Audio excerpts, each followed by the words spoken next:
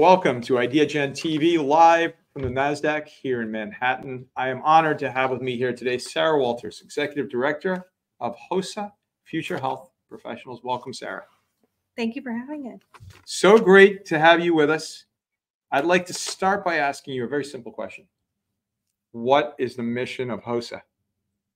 Well, at HOSA, we work to empower future health professionals to be leaders in the global health community. And we do that through education, collaboration, and experience. So you've cut it down to a science. I mean, that was like a simple, succinct mission statement. And so, as a HOSA alum, it was recent that you were wearing a patch, your blazer, and you were walking around the halls of Congress, the White House, and other places talking about the importance of this pipeline of future healthcare, healthcare professionals. What has been your journey, and what is the impact that you're seeing from this pipeline? Well, first off, thank you for saying that it was not long ago that I it was not long ago. I host a patch uh, while I was a member of HOSA. Now, coming back and serving as the executive director, my journey was coming from a very rural background. I grew up in a town of about 1,400 people in our county, very small high school. And that's one of the things that I love about HOSA is that it's not exclusive to an urban, suburban, or rural environment. It really has equal access for mm-hmm. students who are involved in career and technical education, health science, biomedical programs. And that's where I learned a lot of the skills to successfully transition into clinical practice.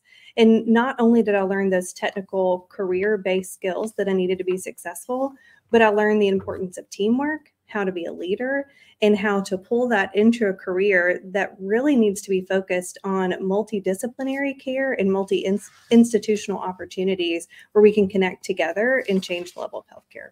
Incredible. And so let's talk a little bit about the skills. What kinds of skills does HOSA provide to its members, these 270,000 students across the nation and across the world? Yes. So that's what we were excited to hit that 270,000 number and continue to grow. But we really focus on being an enhancement to the classroom through what we call the HOSA model. And it really relates back to that education collaboration experience that we have within our mission. Everything that we do relates back to that mission and our core values. So we look at how do we enhance the classroom? How do we enhance the chapter or those team based opportunities that students have? And then we do that through conferences. So students yeah. have time to network and come together and build community. And by the way, all of these things increase school connectedness, which are positive protective factors for our youth in the mental health state that they have and how they feel connected and can be successful in school. It helps them explore their careers and then helps them be a global citizen. They're able to connect not only with students here in the US, but through our international membership through conferences and networking opportunities. And I think what you're saying is also the the, the organization is the only organization pre post secondary that is all healthcare. Correct. Which is a distinguishing factor. In addition to the fact that it's in school, it's part of the in school health science curriculum, not an after school club or or something that's external to the school Absolutely. and to the curriculum. We're we're intracurricular in that we're an enhancement to the health science education curriculum that's taught in the classroom. Every healthcare practitioner needs to know how to be a part of a team, needs to work with other specialties well, needs to be able to articulate their findings, whether that be data, clinical findings, or sometimes difficult news to deliver yeah. in order to be active members in their community and the health system. Incredible. And so you're working on, you know, so many different issues. I know mental health is one that your students in the pipeline are keenly aware of. And maybe some are, are dealing with some of those issues themselves.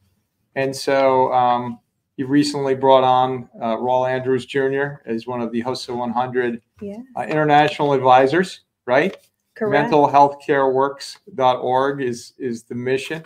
I yeah. think you all will be helping in some way we are very excited to be talking about how to integrate the Notice Talk Act curriculum for our educators, advisors, having that positive mentor support in the classroom, and then also increasing the skills of our students through resources with the APA Foundation to be good peer supporters that we have. We have several competitive events and then other recognition opportunities through partnerships like SAMHSA of the Well-Being Challenge. Yeah. Where students are learning about their own mental health and what are some healthy ways that they can be better to themselves and to their communities. And so one other thing is, you know, these interactive op- opportunities. I think you just alluded to that. So, Mm-hmm. what are some of the types of interactive opportunities that these students can have, can gain by being part of the HOSA pipeline?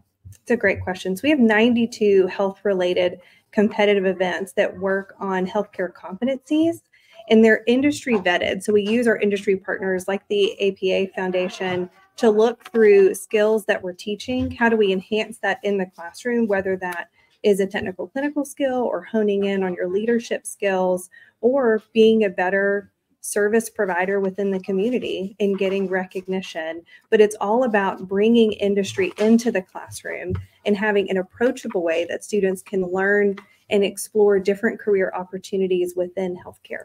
And you know, that's a cross sector thing, right? Mhm. Because you're a nonprofit organization, you're bringing in companies or other NGOs or the public sector to connect the dots. And so I think that is extremely, extremely powerful. What is the next step in terms of expanding HOSA's impact? What do you see on the horizon? You're the executive director. You're helping with the student leadership, set the tone and the North Star for the organization.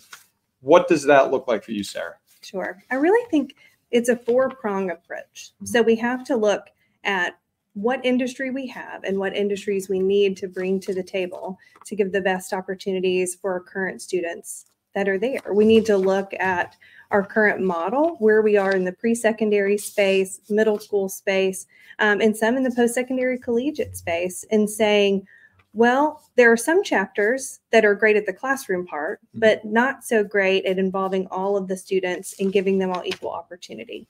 So, how do we raise that equal opportunity to get those members involved?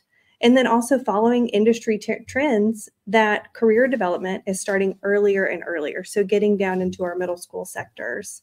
And then on the latter end, it's really saying, okay, we have them on the pathway. How are we managing our exit points? So, once they're in that pipeline, what can we do to remove barriers? And then what can we do to keep them on the road to success to be from a future health professional to a successful health professional? And what I heard you say, you mentioned trends. I mean, you need to stay on the finger of the pulse of of, of the future. Mhm. You need to know that, for example, if you're a coder, you know you're no longer coding because generative AI is coding for you. So you don't need that skill anymore. That skill is now obsolete, sadly, or or not. And so, same thing with professions. Sometimes you need to be looking at what is the future looking like, and the future may be very soon. Right. How are you gaining that industry perspective in terms of the changes, the rapid changes that we've heard about from so many people that are coming at us? How is the organization staying ahead of the curve? Mhm. And just like healthcare, we're constantly evolving. And that's what's critical about the industry partnerships that we have and staying with those conversations. And then not only our industry partners in the health sector, but our partners within the education sector and say, Mhm. what are the new trends in education? How are students learning? How Yeah. do students want to accept new experiences? How can we pull them to have different collaborative ventures that still pull them back into the healthcare space, both in the clinical and the non clinical sector? And that's what's really cool. You just said it. And that's what we stand for here at IdeaGen is cross sector. So you're talking about you're staying close to your industry partners, wherever they may be in Mhm. whatever industry you're working with in the healthcare sector. And then you're also talking about education because this is all about lifelong learning. Mhm. And you're beginning in middle school, high school, you're taking them into college with chapters, you're global. There's different country nuances. If you're in South Korea and you're a HOSA student, maybe a little bit different than your Canadian chapters, right? Right. So so there's there's those nuances, but in the end, it's all the same, and you have to stay ahead of these these curves, especially on the innovation side. Sarah, what is a, an example of a success story that you're you can share? I know there's literally millions. Mhm. What is a success story you can share with the millions of people that will watch you on this interview today? So, success is found to me anytime I get to interact with our students. So, I think about the innovation piece that you talk about. And we have lots of different alumni stories that we could speak to, but I think of what's currently happening. And I came from a clinical background of pediatric otolaryngology. I happened to be on an elevator with a set of students that competed in our medical innovation competition that we have, where they're showcasing their skills and ideas. And I saw some things that looked familiar. So I started asking some questions because I love to learn and find out what we're doing.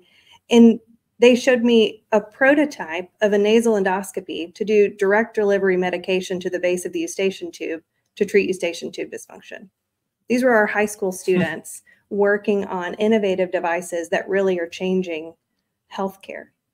And that's so exciting to me to see it in real time, what's happening in the classroom, knowing that they're going to go on and do great and amazing things.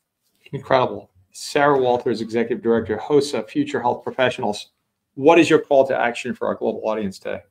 My call to action is to get within your communities. We want expanded industry partners, but we also want great experiences at the local level, at the state level, and at the international level. So get connected to your schools and find out how to work within industry to increase that connection because it's going to take all of us to help address the future healthcare workforce and the needs within our communities. And how can folks find out more about HOSA? Yeah, so you can go to our website, hosa.org. That's H O S A.org. And we look forward to hopefully continuing to change the future of the workforce. Sarah Walters, Executive Director, HOSA Future Health Professionals, changing the world here at the NASDAQ Live in Manhattan.